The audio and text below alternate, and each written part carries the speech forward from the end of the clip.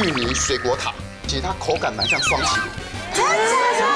对对对对，一般的正常的芋泥，它是里面要加鲜奶油，一球的话，这次这句话四百大卡。那目前做这样的改良，热量已经是很明显是有往下拉了啦。这样就好想吃哎，听起来吃好好吃。